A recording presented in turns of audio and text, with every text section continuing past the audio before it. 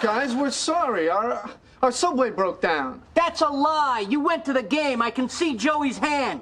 For the love of God, take it off!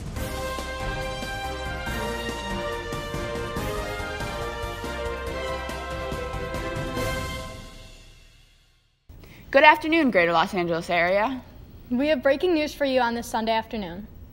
Wealthy business executives Jose and Mary Kitty Menendez were shot at close range in their Beverly Hills home just a few moments ago.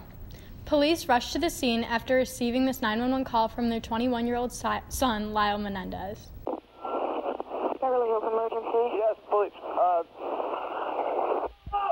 What's the problem? sounds, uh, What's the problem? What's the problem? someone killed my parents. Pardon me? Someone killed my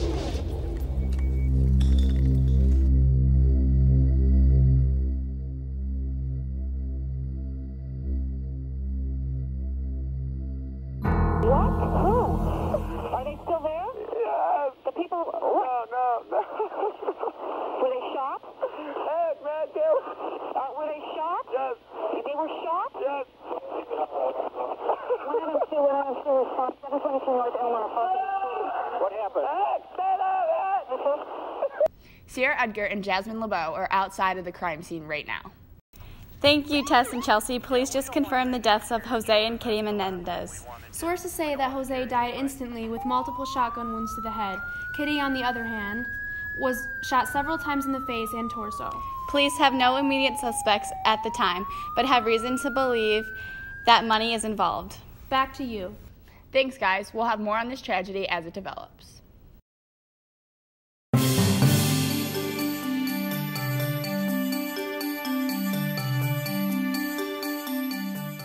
Welcome back. New developments on the murders of Jose and Kitty Menendez as police have brought into custody their sons Lyle and Eric Menendez. Police had suspicions after the sons went on a large spending spree with the inherited money, buying Rolex watches, cars, and a Cancun vacation, among other things. Police have recently come into possession of a rec- recorded tape with the boy's therapist of Eric Menendez confessing to the murders of his parents. CSI experts Sierra and Jasmine have more information for you.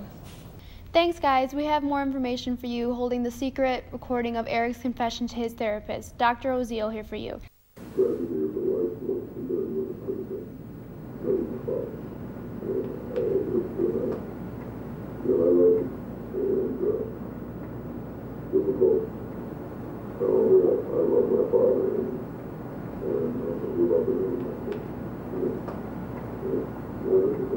This was the last piece of evidence police needed to take the brothers into to custody. Police used search warrants to confiscate these records.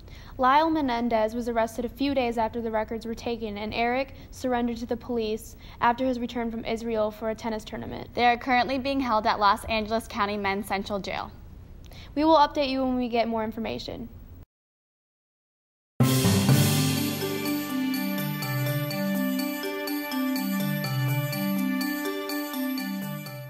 Good morning, LA. Just a day before the Menendez brothers' trial begins, we have a summary of the last four years for you. To begin, we have top secret visuals from the night of the crime. We warn you of graphic content in the upcoming videos.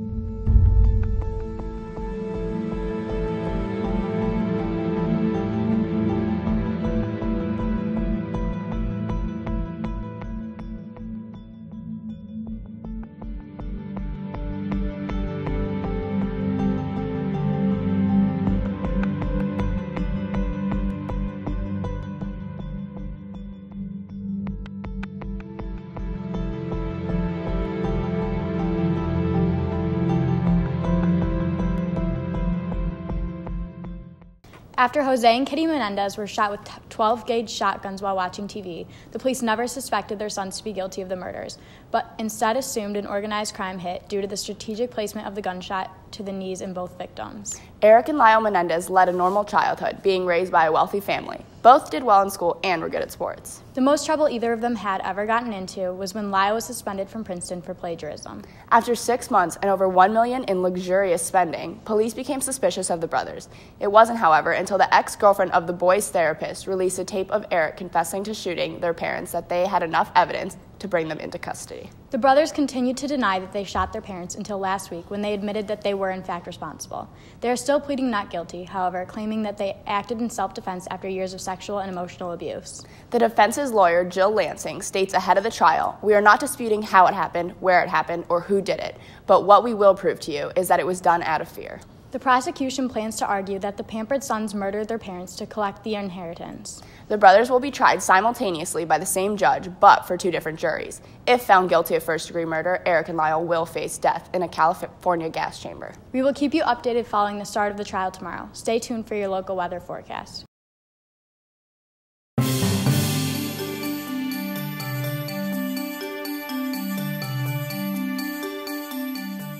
Good evening, Los Angeles. Just a day after the mistrial of the Menendez brothers, we have an overview of the trial that started last July. Jill Lansing and Leslie Abramson, the brothers' lawyers, came out fighting, describing the brothers as innocent children who had been raised improperly. The defendants brought over 30 relatives, teachers, and sports coaches to the stand who all described Jose Menendez as a, as a success obsessed tyrant who dominated his sons' lives. After a month of hearing testimonies from witnesses who described Jose and Kitty as less than model parents, Judge Stanley Weisberg had heard enough and said, We are not talking about a child custody case. Eric and Lyle were then ordered to the stand. When Lyle took the stand, he painted a dark picture of his father's demanding nature. He described years and years of sexual assault as shown in this video. Did your father have sexual contact with you? Yes. And how did it start?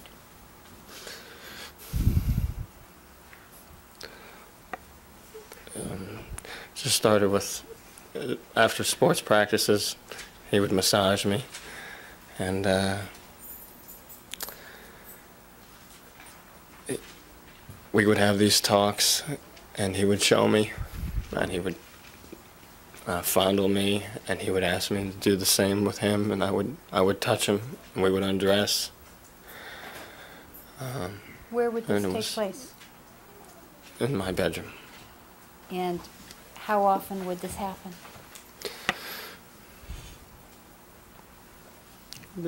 Like two or three times a week. We would be in the bathroom and uh, um, it would he would put me on my knees and he would guide me all my movements and I would um, uh, have oral sex with him. Did you want to do this?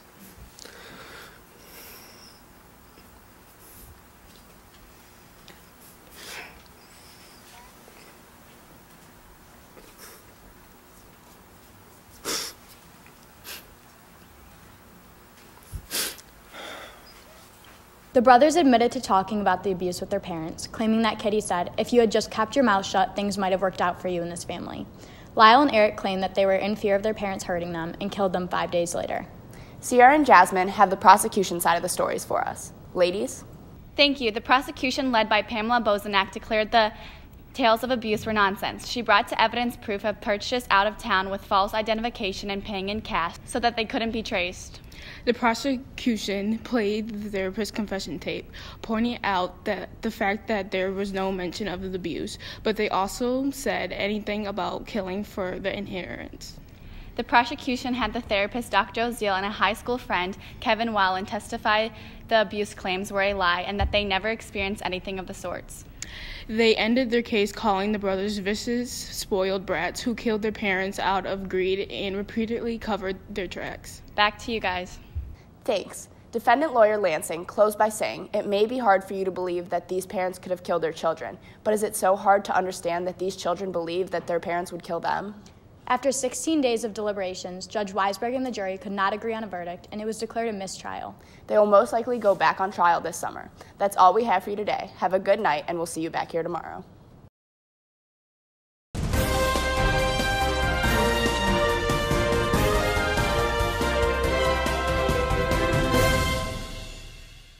Breaking news Los Angeles Judge Stanley Weisberg has come to a decision on the Menendez brother trial after a seven month second trial.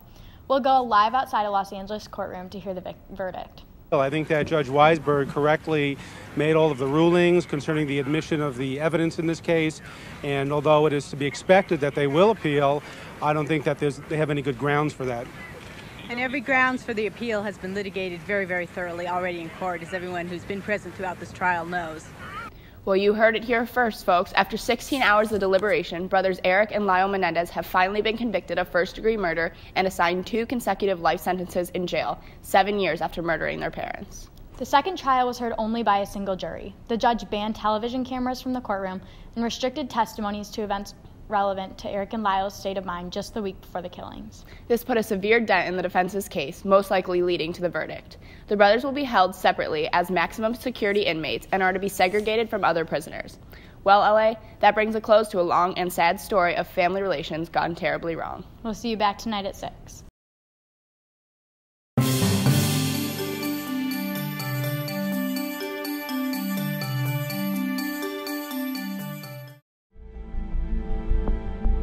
It's not always easy to understand why some true crime stories grab the public eye and dominate headlines, but the saga of the Menendez brothers was a no brainer. A pair of handsome siblings dressed in matching pastel sweaters who ruthlessly killed their rich parents in their Beverly Hills mansion, then spent the months after the murders blowing thousands of dollars on luxury cars and vacations. A Hollywood screenwriter couldn't have even made that up. It's been nearly 30 years since the brothers shot Jose and Kitty Menendez to death, and 20 since they were sentenced to life in prison. But the interest in their case hasn't ceased with the passage of time. 2017 brought not one or two, but three television specials about the pair. What's become of the boys, as their lawyer famously and repeatedly referred to them? Here's where they are now.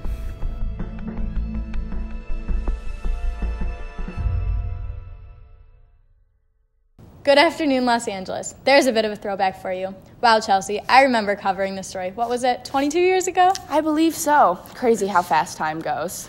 Regardless, despite the boys' many attempts at habeas corpus, they still remain behind bars. Eric Menendez is currently serving his life sentence at Richard Donovan Correctional Facility in San Diego. He married his prison pen pal, Tammy Saccoman, in 1997.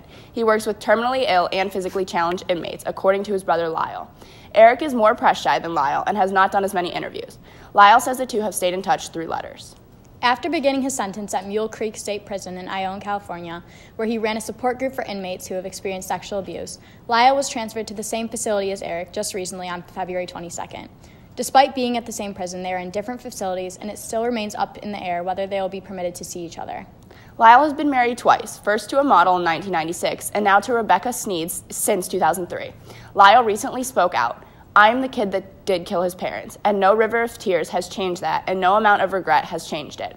I accept that. You are often defined by a few moments of your life, but that's not who you are in your life, you know. Your life is your totality of it. As of now, there is still no chance of parole or even an appeal for the brothers. According to recent interviews, the boys regret it every day. That's all we have for you, Los Angeles. We'll see you back here at 6.